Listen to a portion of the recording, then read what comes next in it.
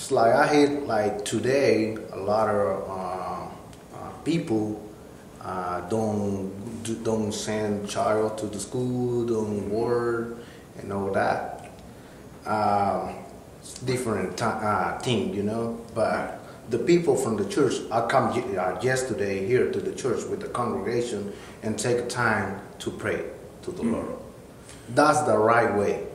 I understand um, the position for the president Right. and what um, a lot of people come here to work. A lot of people Yes. do bad thing right here on this country too. 19 years on this country, Mm-hmm. you know, and I try to do the best all the time. I working for the church. I try to do the best I can for the God, not too much for for the people. You know, I do for God and try to to touch the heart for the people. And I have uh, two childs, one uh, 17 and one 12.